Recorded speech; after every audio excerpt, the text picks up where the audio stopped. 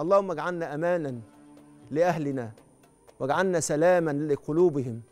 اللهم إنا نسألك ألا تجعل واحدا منا سببا من أسباب كسر خاطر شريك حياتي. واجعلنا يا ربنا بابا من أبواب لطفك ورحمتك التي تنزل على البيوت. اجعلنا يا ربنا حصنا يتحصن به كل من يريد أن يدخل في أمانك.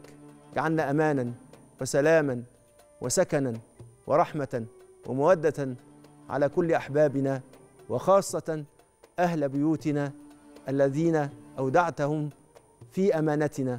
اللهم اجعلنا من أهل حفظ الأمانات التي تجلب عليهم عظيم البركات. يا رب العالمين يا أكرم الأكرمين ارزقنا دائما توفيقا ومددا. يجعلنا من المخلصين والصادقين. يا رب العالمين.